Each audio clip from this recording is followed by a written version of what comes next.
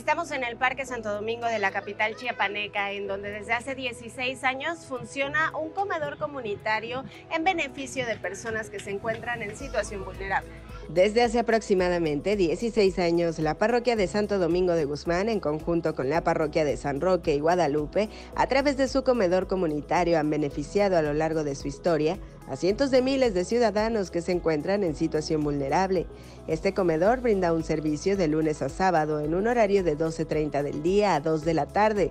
Y es que con un costo mínimo de 5 pesos, las personas pueden adquirir un platillo completo que incluye bebida y tortillas.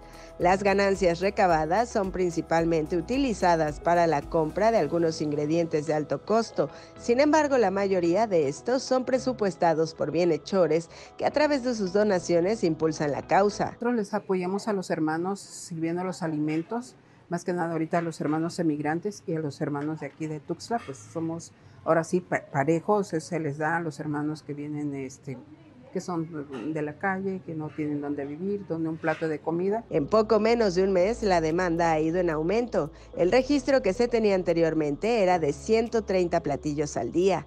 Con la llegada de más migrantes a la ciudad, el número de platillos proporcionados incrementó a 220 por lo que quienes participan en este comedor comunitario invitan a la población en general, empresas o asociaciones, a sumarse con donaciones para poder beneficiar a personas que se encuentran en una situación desfavorable. Bienvenidos sea todos los hermanos que nos pudieran apoyar con lo que puedan o alguna duda que tengan se pueden comunicar con la hermana Betty Carrillo. Y tenemos datos en la parroquia de Guadalupe, ahí están unas tarjetitas que se está dando y pues ahí nosotros estaremos al pendiente. Esta causa social busca beneficiar a niños y grandes con el objetivo de asegurar el bienestar de los que menos tienen. Con imágenes de Juan Leiva para Diario Media Group, Carla Nazar.